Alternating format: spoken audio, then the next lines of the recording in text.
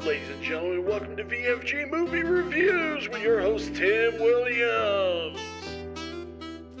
How's it going, guys? Welcome to VFG Movie Reviews, and this is my review, my show review for Last of Us, Episode 7 Left Behind, where we explored the backstory of Ellie and Riley.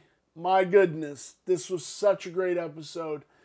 There was so much to showing the love that they had for each other in this and what it meant to find love in this chaotic, monstrous world that they live in. Uh, it opens with uh, her trying to help Joel because he, he was stabbed with the broken baseball bat. And now Ellie is trying to save Joel's life and having this flashback. And let me tell you, I've been really back and forth on uh, Bella Ramsey as Ellie.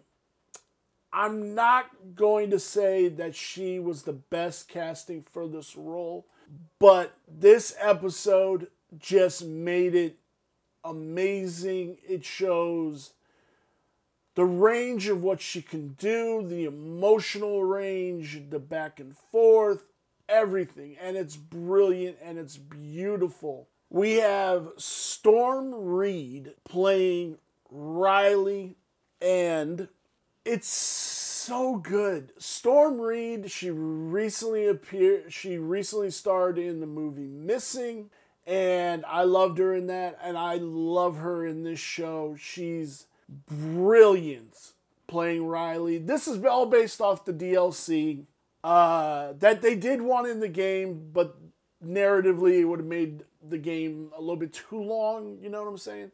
So they put it in DLC, and it's basically Riley's gonna leave. She joined the Fireflies. She's gonna leave, so she gets Ellie she wants to give Ellie one great night in this mall and show her all the cool stuff that the mall has to offer and pretty much tell her goodbye. And it all breaks down. They have this beautiful night, but they end up getting attacked by a clicker and they both get bit. This is where you find out Ellie can't be turned.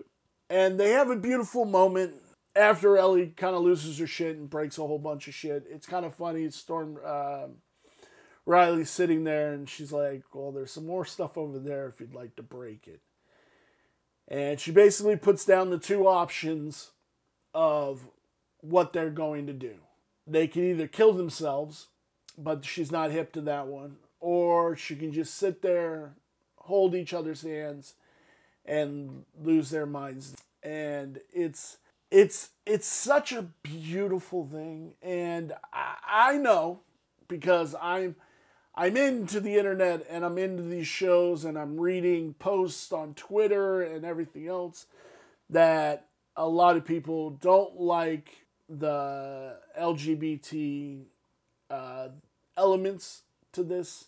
All i have to say is that these people exist. It's okay to tell these stories it's okay for people to be who they are. We need to stop telling people you're not allowed to be who you are. If you're not hurting somebody, spouting dangerous rhetoric, or anything else, nobody should tell you who you are allowed and who you are not allowed to be. Plain and simple. It's the only soapbox I'm going to get on, and 100% you should believe that. I love this episode, and it's such an amazing, poignant episode. And we got two more episodes left. Can't wait to see where it goes. I mean, we know where it goes, but I can't wait to. Thank you guys for watching this review, and I appreciate you guys. Thank you so very much, and I will see you in our next show review.